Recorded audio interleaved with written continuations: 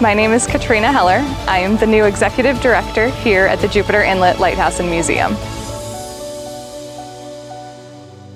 I have been with the Lighthouse for eight years this May. I hope the Lighthouse brings joy to families in the Jupiter area. I hope they can look at this as our little version of a central park and enjoy the nature and the history and the culture that's right in their own backyard.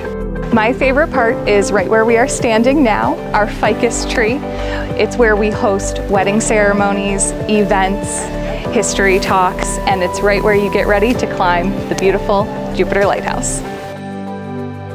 I hope people take away that we have so much more history to this part of Florida and to Jupiter than anyone realizes. We have over 5,000 years of habitation in this site, from early Native Americans to pioneers to our lighthouse keepers. There's so much history here. I hope people understand and appreciate that and enjoy this beautiful space. We thank you for all of your support for the Jupiter Inlet Lighthouse. We're a small nonprofit and we hope to grow grow and become your favorite attraction and favorite part of history.